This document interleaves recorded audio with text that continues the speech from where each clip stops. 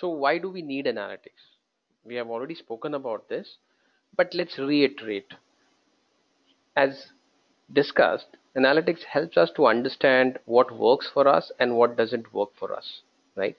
So in a sense, a lot of time when we are doing a marketing campaign, when we are doing sales, when we are doing hiring in an organization, when we are doing operational things, we have a lot of data which gets collected over time.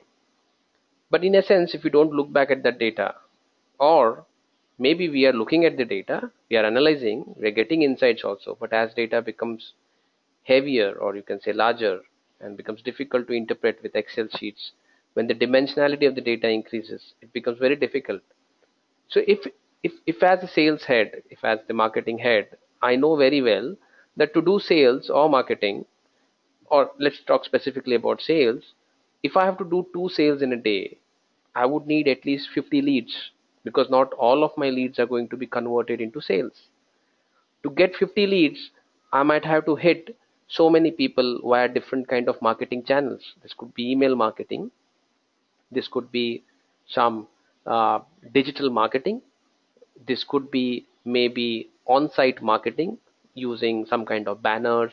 This could be some event organization this could be some kind of specifically in education industry it could also be some kind of blog writing and all those things. So obviously what happens is that as the sales head i need a lot of leads so that i can convert these leads into sales right? Now as your channels of marketing increases as your channels of sales increases it becomes difficult to understand what is working for you and what is not working for you. So you have to collect some data. You have to start doing a strategy. You have to see in the sales funnel how is this converting into sales so if i am spending one dollar and as against that i'm getting a revenue of 50 cents or to be, make it very sensible if i am spending 100 rupees and i'm getting sales worth 10 rupees against that maybe it's not making economic sense so which lead is better for me? What is the cost of acquisition of a customer? All of this can be analyzed and understood by analytics and also automated by analytics, right? So we would typically need analytics for that. It helps us to understand, target, create a product based on the requirement of the end customer.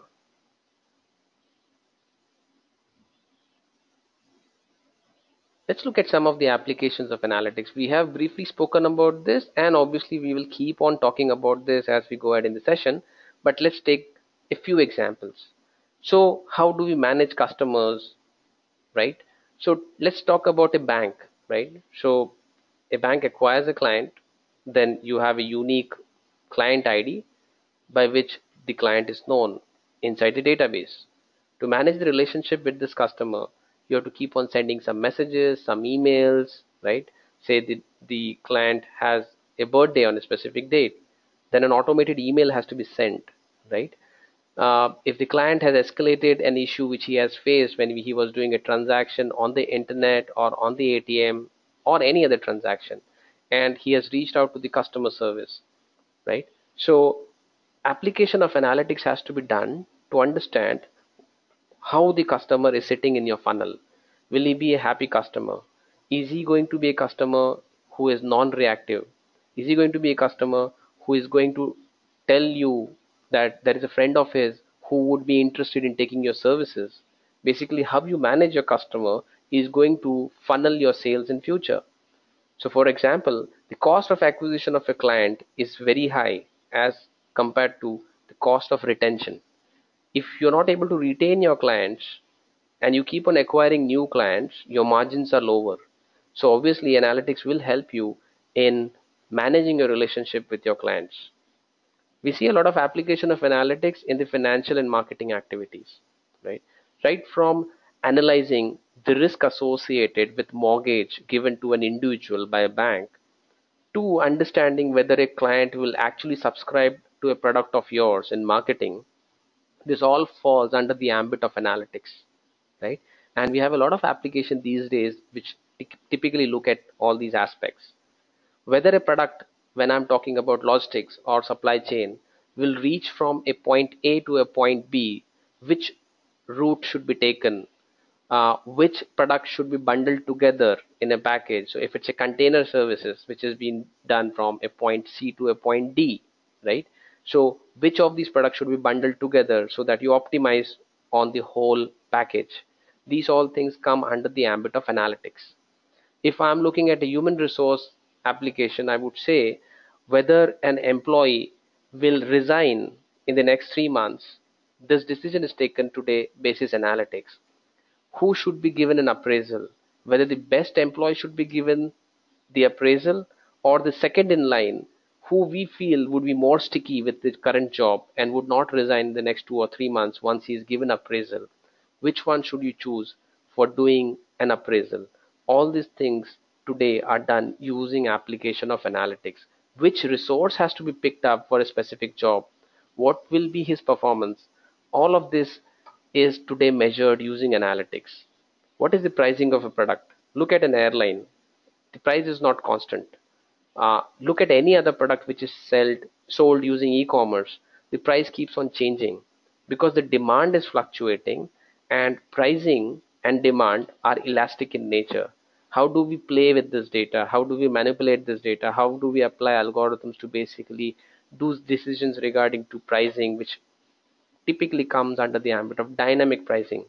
How does uh, an app app based service so for example how does trivago do a decision.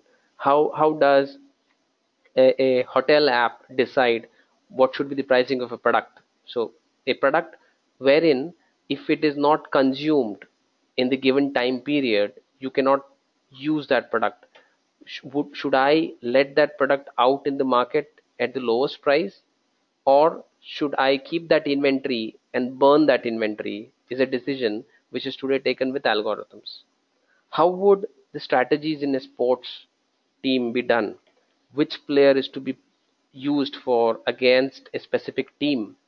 When will injury occur right? In fact even if you look at some of these very basic things which has not come up today but maybe 10 years back only so when you were watching an old indian uh, world cup match wherein you were seeing something like an hawkeye application which is suggesting that okay the umpire is saying that it's out but it is giving you three possibilities that the ball could have gone on the left side or could have hit the stumps in between right or could have gone on the left hand side right it would have missed the stump or it would have hit the stump had the batsman not blocked it with his leg. So should it be a leg bye or should it be an LBW, right? These decisions are taken by a software today, which is called as Hawkeye. Not that it has come up today, it is old, but it needs to collect a lot of data related to wind speed, the pitch condition, the bowling action, a lot of lot of variables, and that makes it a product today, right? So all of these are application of analytics.